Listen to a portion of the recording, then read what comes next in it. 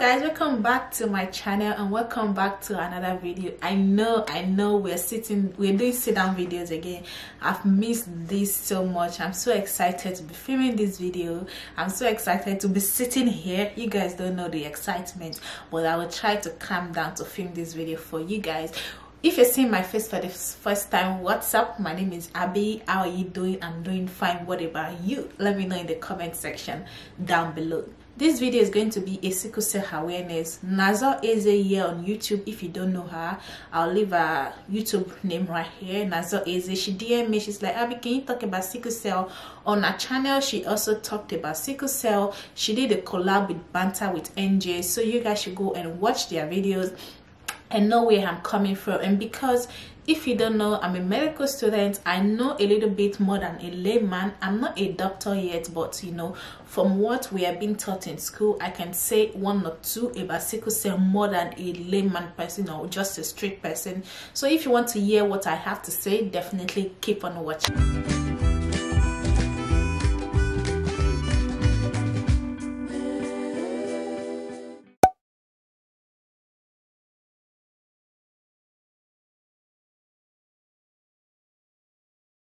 okay welcome back. Um this sickle cell thing i like that nazor started the awareness and it's quite educative quite informative content to be honest. So if you do have a channel you can decide to talk about it on your channel. This video might help one or two people even though it's only one person. I'll be so grateful to be honest. So a lot of people hear sickle cell sickle cell sickle cell but you don't really know what sickle cell is I'm going to be talking in layman terms. I won't try to make it a little bit medical so that I don't bore you and you run away. But I'm going to be saying a little bit, you know, if anything, I mention medical stuff, I'll try and explain it. So I'm just going to type on Google and try to see what does sickle cell actually means. So on Google, it say a group of disorder that cause red blood cell to become misshaped and break down.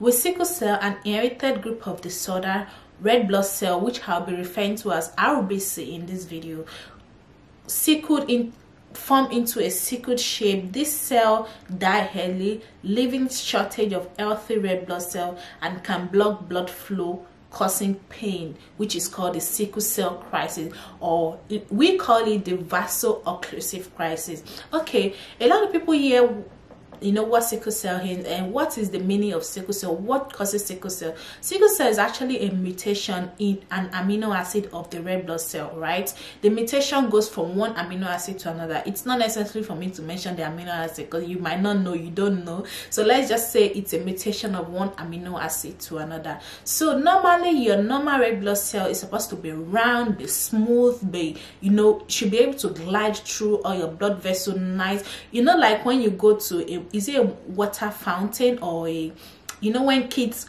dive eh, I'm trying to explain something. You know when you take your kids to a playing ground and there's this thing that they go down, they go smooth.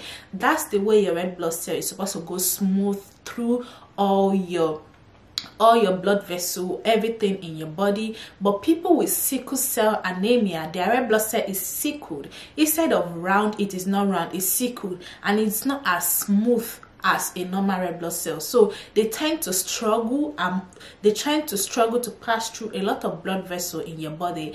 And the function of red blood cell is to carry oxygen to every corner every inch inches every organ in your body. So the normal red blood cell is supposed to carry you know the oxygen. So with this sickled red blood cell they are not able to carry sufficient oxygen through your body and everything. That's why if you notice, sickle cell patients are always tired. They don't get enough oxygen. They don't get enough energy. That's why they are always tired. So that aside, so what is actually this pain crisis or sickle cell crisis or vaso-occlusive crisis?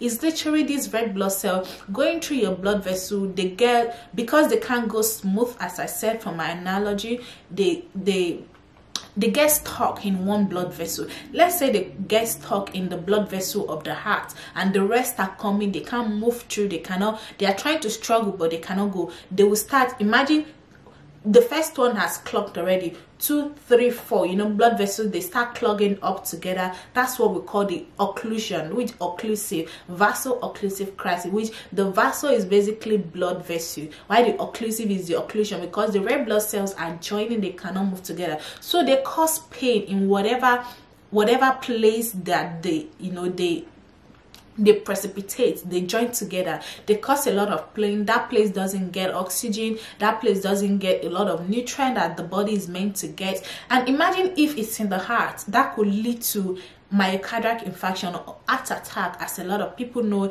Imagine if it's in the brain it can lead to stroke. Let me kind of explain that. Anemia itself is a decrease in rbc which stands for red blood cell. So decrease in rbc means decrease in oxygen that is carrying through the body. The main function or why we have the rbc in the body is to carry oxygen to every part of our body as i mentioned earlier on. So if we don't have enough RBC to carry oxygen to the body due to the sickled red blood cell that is already deficient, that is already mutated. So that's what causes the anemia. So sickle cell anemia anemia caused by sickled rbc caused by decreased rbc in the body. I hope i was able to explain it further. So might, why do you think these warriors they have chest pain? They'll have chest pain same reason the red blood cell gets sickled there they precipitate they join together vaso-occlusive crisis actually called acute chest syndrome. That's what we call it acute chest syndrome. It causes them chest pain. Imagine there's the occlusion in the lung lungs the lungs is where the you know the red blood cell pick up oxygen and go to the body. So they're not they're not able to get even the lungs themselves they need oxygen. The, the lungs are not able to get oxygen the rbc are not able to get oxygen. That's another complication. Another complication is also in the liver. As i said there's an organ in the body called the spleen that breaks it. The spleen the spleen is kind of a blood filter. It filters all our blood to make sure it get rid of any particles anything that we don't need in the blood share the spleen get rid of it. So this sickled rbc the spleen get rid of it. So, oh this one it's not a correct rbc it's not the smooth one. It's not the one that's supposed to glide inside our blood vessel. It get rid of it. So continuous breakdown of this rbc produces bile and bilirubin. And there's a whole process of um, destruction of RBC is a whole process. I'm not going to explain in this video because you might not understand. But just know that the bile is meant to be stored in the liver. Continuous breaking down you know the bile will be to be accumulating in the liver. At some point they're going to spill into the blood. You agree with me right? When something is meant to be stored inside this inside this cup let's use let's use my phone as an example as a cup. When something is meant to be stored inside and it's getting full and full and full at some point it's going to spill out and and spill on the floor. The same way your spleen is breaking down the rbc is going to spill out into the blood. That's why they get the yellow eyes so this this rbc can also get sickled or the, sorry this rbc can also get occlusive or they can also accumulate in every just know that every little blood vessel in your body it can be the hand they will have hand pain it can be the joints they will have joint pain. And the thing about this um what's it called? This thing that uh, this awareness that Nazor Eze is creating is is love actually greater than genotype? Will you consider your love than consider the future of your kids the kids you are bringing to this world? Yes they taught us in secondary school oh if you draw AS AS your first child will be AA second child AS first third child AS then last child SS what of it's not always like that. It's not always how you draw it.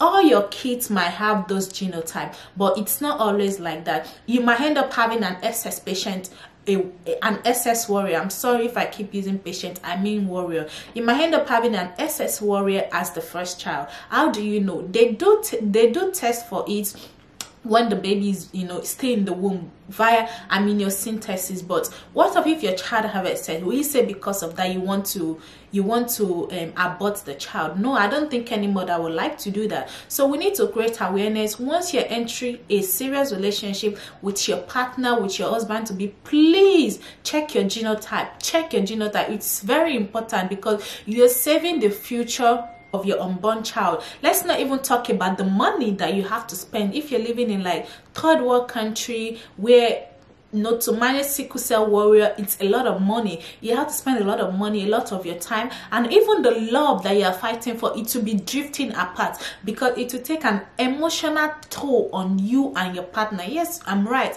It will take an emotional toll on you guys. So let us be aware and i'm glad that when you want to do like court registration or church wedding nowadays they, they give you a list of tests for you to do. They can before they can actually marry you guys. So i'm quite glad that that's one of the things that people are using to create awareness. You guys let us be informed. Let us be conscious of who we who we date. And there are a lot of things that are affected. This sickle cell warrior they can't go to the beach. They because one of their trigger is cold one of the trigger is exercise when they're when they're um they're not getting enough oxygen they're not getting enough energy. So they can't really the little ones that they have they have to manage it they have to reserve it for the organs in their body. If a lot of you know Faari by Sisi she's not a typical warrior let's say like phenotypically what you can see because most warrior are slim most most warrior eyes are yellow but Faris Sisi is not slim you know she's a she has weight she's a very good looking woman and her eyes is not that yellow but if you look very close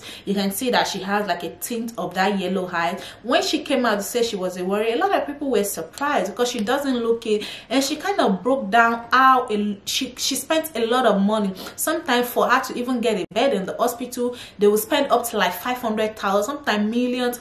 Those money that they even spend in the hospital she would have used it to build a house by now. Trust me she would have used it to build house. So please consider the future of your kids before you make any drastic decision. And i watched banter with nj video and she kind of made an analogy of a friend that was that boyfriend for 10 years. And when they wanted to get married they found out that they were both they were both AS and AS is a carrier. She he or she has like one mutation. For you to be considered to be a warrior a sickle cell anemic patient right you need two mutated gene that's how you see ss one as is a carrier. They only have one mutated gene they don't they don't really have a lot of symptoms compared to you know an ss patient. But they don't really get a lot of crisis but ss patient like a, a flu a full-blown warrior gets you know vaso-occlusive crisis or pain crisis as every one of you know. So yeah let's talk about uncertainty of oh will i die someday? This this. I don't know if you guys remember the opp on air presenter OPA sorry on air presenter Tosin Bucknor she was a warrior and i'm glad that she she talked about being a warrior while she was still alive. May i still continue to rest in peace. Nobody knew the cause of her death but it might have been related to being a sickle cell patient. You know imagine you're somewhere you can't get help and you get the the sickle cell in your heart. You have heart attack. Nobody to attend to you immediately. You die like you you die. Or let's say in the brain you get stroke you get part of your brain that is damaged and you can you can reverse the damage in the brain. You can reverse it. Once it's damaged it's damaged. And i also have a friend that both patient are as as but they don't have any ss everybody's case is not like that. Don't be saying oh maybe i'll be lucky. What of if you're not lucky? Please also consider that what of if you're not lucky? Let's be informed. Don't take the risk consider your child. I have a friend that is a warrior. I'll leave her handle right here. You guys can check out on instagram. She talks about her experience as a warrior every sunday. She makes a video. I don't know if she still do but if she does i'll leave her handle right here. You can go and check it. If you're also a warrior i pray god almighty will keep you. Yeah this thing needs to be told. And let me just address that everybody should be very careful when you see somebody that you can tell your gut can tell you that this person is a warrior. Be careful of what you say to them. And don't ask them oh why you always tired? Why you always sick? They don't choose to be sick. They don't choose to be always tired. It's just what comes with what they have. So let's be guided. Let's be careful of everything we say to to warriors. It's not everything. In my language which is Yoruba they'll be like kì í ṣe gbogbo gbogbo nǹkan tójú it's not everything you see you open your mouth to say. So please let's be guided. And another thing I want to say is see imagine a three-year-old having pain crisis. Me that ordinary my son Ryan when it's winter time? If you get cold or if you get that's why i don't take him out during winter in case i don't want him to catch cold and he will be sick he will be sneezing. I can't take the pain talk more of a three-year-old a one-year-old getting crisis. You to think about it it will be so heartbreaking like so so heartbreaking. So please let's be guided. Let the genotype rule over the love. No love over the genotype. I, I hope i'm able to cover everything i say. If i'm going everywhere in this video this video was very impromptu. Nazor dm me as i said early this morning. So I'm, i hope i'm able to cover all the points. I'll leave a link to nazor and banter with nj's video down in the comment section below. You guys to check them out. And i'm actually so inspired to start like an awareness thing like a health thing on my channel. If you think you'll be interested you'd like to listen to me talk about some health issues and here and there just my opinion you know just let me know in the comment section. Please thank you so much for watching. If you enjoyed this video give me a thumbs up comment down below and subscribe to my channel. I'll see you guys in my next video. Please stay safe and god bless. Bye